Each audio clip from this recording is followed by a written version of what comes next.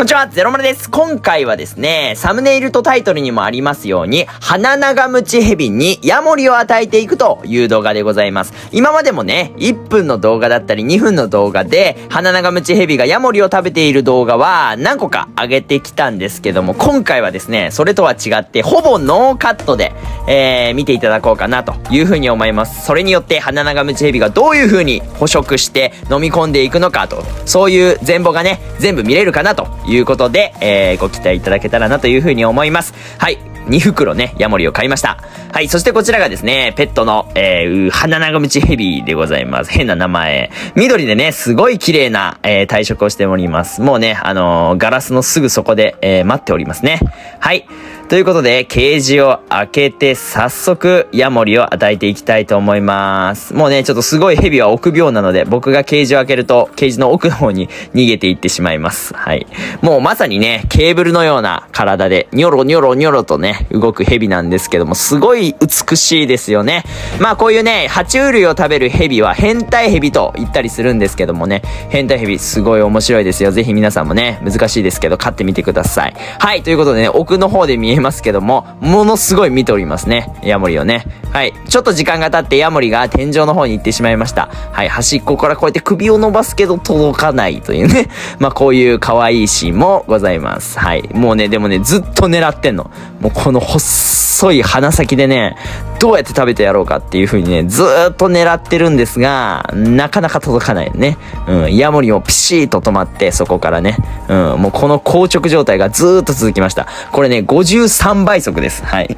もうね、蛇の方がちょろちょろちょろちょろ動いてますけど、ヤモリはもう堅くなに動かないですね。狙われてるのがね、なんとなく分かってるのかなという感じですね。はい、ちょっとね、もう痺れを切らして私、あのー、これに加えて2、3匹、えー、ヤモリを追加することとしました。はい、もうあの感じじゃね、捕まらないんで、はい、2匹ぐらい入れましたということで、もうね、すぐ反応しております。もうほらもう伸びてきた伸びた。もう行きますよ。よいしょー行きましたねー。うー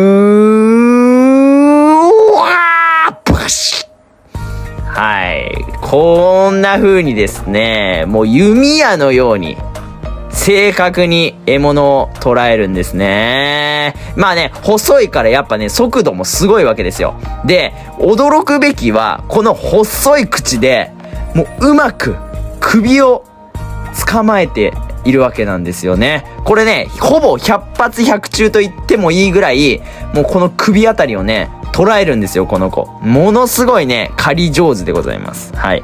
もうそこからはね、もう首に力を入れて噛みつけて、ね、うん、取ります。はい。もうあの、お隣さんもね、びっくりですよ、これはね。この狩猟の能力にはね。はい。ということで、まあ、この首を捉えた鼻長ムチヘビですけども、あのー、こちらのヘビはですね、甲賀類といって、えー、奥歯に毒があります。人間にね、この毒が入ったとしても、そこまでね、健康状態に影響はないというふうに言われているぐらい、まあ弱い毒なんですけども、まあ体の小さいヤモリにとってはかなりのね、致命傷になるような毒ですね。はい。もうこうやってね、もうこうやってもう一生懸命抵抗するわけですよね。ヤモリもね、なんとか食われまいとするわけなんですけど、やっぱりね、蛇なんで顎の力が強いですよね。で、鋭い牙がね、口の中にはついています。はい。なので、なかなかね、逃げることはできません。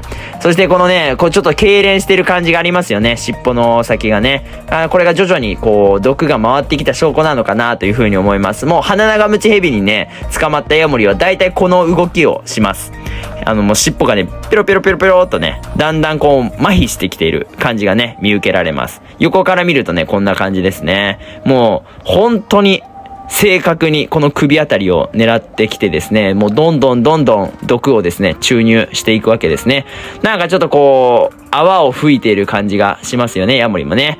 ちょっとね、グロテスクな感じになってますけども、まあこれがね、まあ自然の摂理というかね、まあこれが狩猟の仕方なのでね、この子のね、まあこういうのが、まあ毎日毎日、えー、続くわけですけども、まあこういうのがね、嫌な方はちょっと飼えないかな、というふうには思うんですが、まあこのね、野生味あふれるこの子の姿はですね、他のペットにはなかなかないような気もするんで、そういうところに僕はね、魅力を感じて、あの、即売会でね、即購入してまいりました。はい。もうね、ヤモリもね、最初の方元気に抵抗してましたけども、ほら、こうちょっとこう手をちょっとこう回すぐらいが限界になってきてますね。はい。まあでもね、ヤモリの中にも結構ね、あの、執着心が強いというか、ものすごい、あの根性でね、あの、最後まで暴れ回ってたりとか、飲み終わ、飲み込まれた後もですね、あの、一生懸命もがいてね、首の中でもがいてたりするやつもいたりします。はい。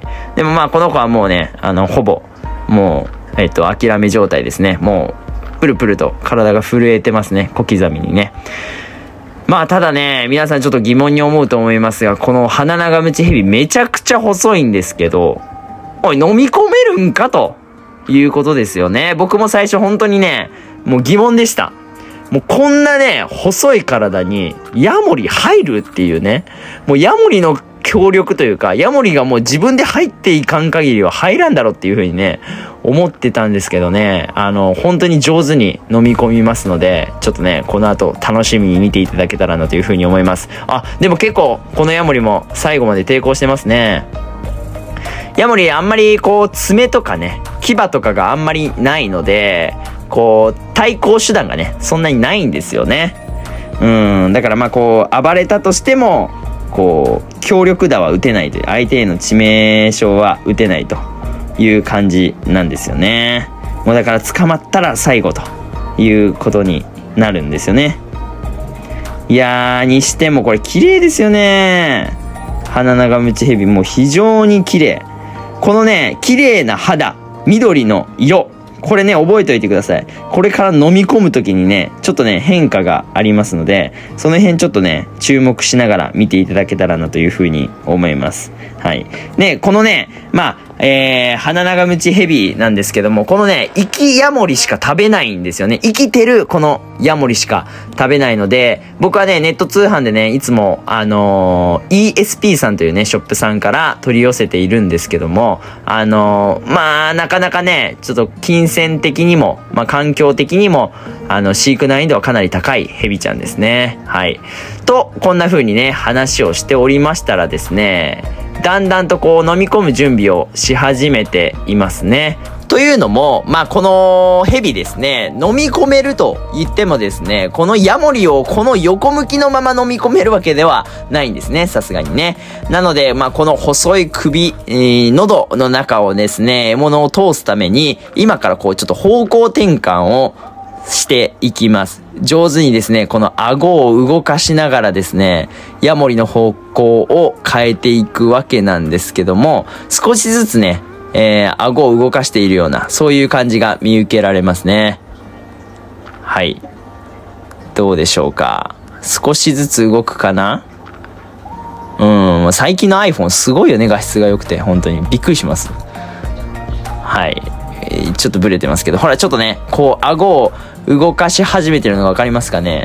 まあ僕たちと違って手がね、ないんで、もう本当に口先だけの操作になるんですけども、少しずつね、片方の歯を動かして、外して、もう片方を外してと繰り返してですね、もう上手に上手に、あの、ヤモリをですね、こう、なんて言うんですかね、平行線というか、こう、自分のね、喉の延長上に、えー、顔が来るように、えー、持ってくるわけですね。ほら、あっという間にもう、あの、方向転換をして飲み込む体勢に入りました。もうね、ここまで来たら、もうなかなかヤモリはね、えー、反抗できません。もうね、あのー、ほぼ無抵抗のまま飲み込まれていくという感じになりますね。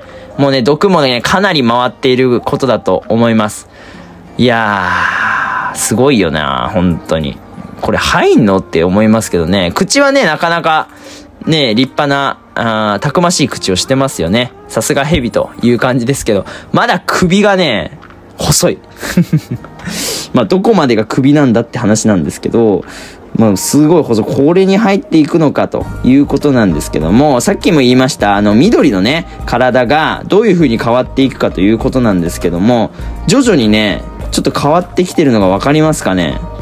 あの、ちょっと体上の方なんですけども、ほら、ちょっと白っぽくなってきてわかります？白い点々が体中に出てきてるのがわかりますかね？これ、実は鱗を伸ばしてるんですよね。なので、あの、鱗の下の皮膚が見えてる状態なんです。もうね、ほら、首の方にもヤモリの顔が入ってってると思うんですが、あの、普段は収縮している、まあ、皮膚をですね、伸ばして、鱗の裏も伸ばして、この受け入れ体制を作るわけなんですよね。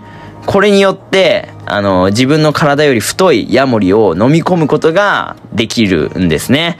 ほら、もうちょっとね、あの、首周りがもう白だけじゃなくて黒になってきましたよね。もうこれがね、あの、鱗の下の皮膚ですね。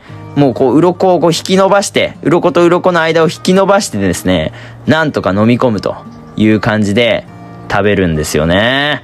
これすごいなと思いましたね。初めて見た時に。本当に飲み込めんのと。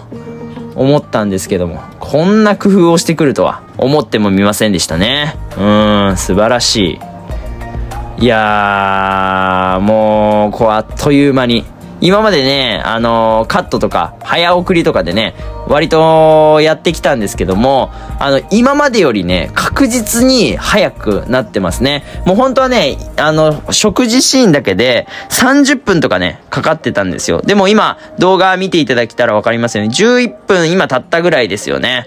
もうそう考えるとめちゃくちゃ早くなってますね。多分ね、あの、あんまり一緒に生活してると気づかないんですけど、徐々に体の大きさがね、大きくなってるんじゃないかなというふうに思います。最終的にはね、1.5メートルから2メートルぐらいになる予定ですので、今ね、体は多分80センチとか、あってもそれぐらいなんで、まあ今の2倍ぐらいの大きさになるのかなというふうに思ってます。はい。もうそんなこと言うてる間にね、上半身はすっぽり体の中に入ってしまいましたね。いやいやいやいやいや。もうこれだから手も入ってるわけだからね。ヤモリの上半身プラス腕、肩周りも一緒に横幅として入ってってるわけですから、相当な太さがね、この首の中に入ってってるんですけど、もう軽々と飲み込むようになっちゃいましたね。まあ最初に来た時からね、飲み込み始めても別にそんな突っかかりもなく飲み込んでくれていたんですけども、もうそれ以上にね、飲み込むスピードがすごく速くなってます。いやー、すごいですよね。しかもこの、なんて言うんだろうな、細い体でよく、この体が支えられるよね。捕食シーンもそうだけどさ、あの、重いものを先っちょに持ってるのに、この細い体でよく あの、支えてえー、捕食できるようなというか、掴んだままで入れるようなという感じがしますよね。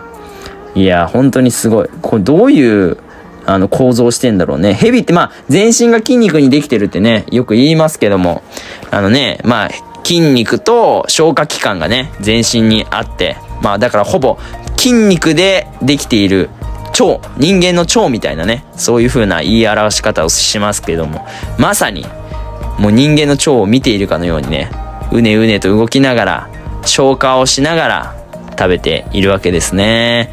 これね、あの、最初の、あの、動画、っていうか動画の最初のところとね、比べてほしいんですけども、目のね、形がね、またちょっと変わってきてるんですよね。そこもね、すごく面白いです。すごいね、なんかカエルみたいな目してますよね、この子ね。でもね、多分動画の最初の方はね、そんなことなかったと思います。結構ね、光の具合とかで結構目の形も変わったりするんで、あのー、他の動画とかもね、見ていただいて、これからもどんどんね、鼻長ムチヘビの動画も出していきますので、ぜひ、目の形にも注目してね、見ていただけると面白いかなというふうに思います。はい。もうそんなこと言っておりました。もうね、飲み込んでしまいました。ねえ、もうお隣さんのね、太あごひげトカゲさんももうあぜんですよ。もう、開いた口がね、塞がらない。ねえ。うん。空いてないか。はい。ごめんなさい。はい。ということで、今回はですね、えー、こちらの、えー、私が飼育しております、花長ムチヘビのですね、捕食シーンを見ていただきました。ノーカットでね、全貌を見ていただきまして、まあ、どういう風にね、捕食して飲み込んでいくかというね、のを、が分かったかなという風に思います。もうね、もう首の奥の方まで入ってしまいましたね。あとはもう体をこういう風にくねらせて奥に奥に押し込んでゆっくり消化していくというだけになりますので、まあ捕食シーンはここまでかなという風に思います。はい。ぜひね、またこの花長ムチヘビの動画もね、出していきますので、チャンネル登録してね、えー、また次の動画も楽しみにお待ちいただけたらなというふうに思います。他のね、子たちもどんどん出しておりますので、ぜひね、そちらもチェックしてみてください。それでは、ご視聴ありがとうございました。ゼロマルでした。バイバイ。